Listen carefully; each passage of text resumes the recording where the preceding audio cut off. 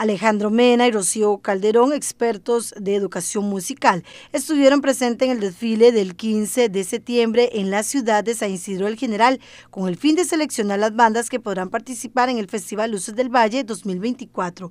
Ellos fueron convocados por la comisión organizadora con el fin de contar con el criterio de expertos en la materia. Bueno, yo soy educador, soy profesor de educación musical para el Ministerio de Educación desde hace 15 años y pues se me contactó para esta labor, esta difícil labor porque bastantes bandas, bastantes delegaciones muy ordenados, muy bonito, como es característico de Pérez Celedón.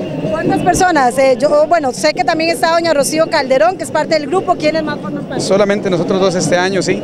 Este, no, normalmente son dos, tres personas y es un criterio que hay que dar profesional con una tabla específica, entonces eh, no hay como mucho espacio para pasar tantas personas, es muy angosto el trayecto, entonces dos personas y, ya nos reunimos luego a, ver criterios. Para esas elecciones se cuentan con diferentes criterios que se tienen que evaluar. Bueno, hay de todo, rítmica, la parte melódica, o sea, todo en una banda.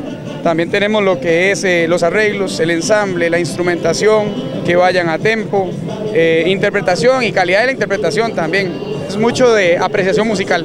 ¿Cuándo tienen que darle los resultados a la comisión organizadora? Hoy mismo se, se pasan lo que son las tablas, los valores, nos reunimos en la tarde y habría que ver para reunirnos ya para ver esos detalles en estos días posiblemente. ¿sí? Los expertos caminaron en el desfile para observar el desempeño y luego en la tarima principal. Entonces la primera visita que le hacemos es así caminando, sorpresa, para ver cómo están organizados sin, sin sentir la presión del, del jurado.